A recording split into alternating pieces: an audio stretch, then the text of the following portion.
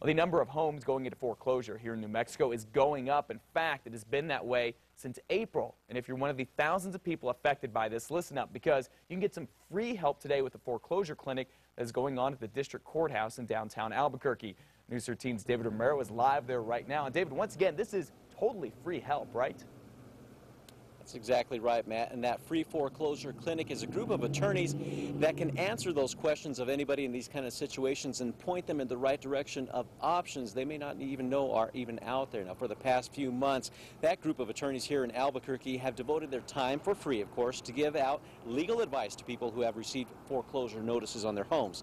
According to RealtyTrac Online, nearly one in almost 1,200 homes were foreclosed on in the state here in June this year. Here in Bernalillo County alone, there were about 454 foreclosed properties. Now, for those who don't know what to do, if and when they've received the notices, they can ask these attorneys for advice.